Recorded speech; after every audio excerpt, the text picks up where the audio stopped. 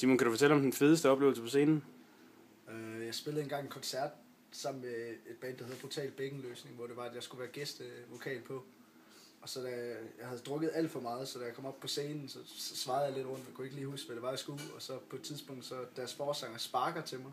Så jeg flyver over i kanten af scenen og lander ned i sådan en lille revne, hvor folk ikke rigtig kan se mig. Og så vælger jeg så bare at synge videre og prøve at se, om jeg kan hjælpe mig selv op. Og så, ja, så havde jeg ondt i et par dage derefter, fordi jeg havde slået mig ret meget i det der fald. Men det var i hvert fald ret sjovt.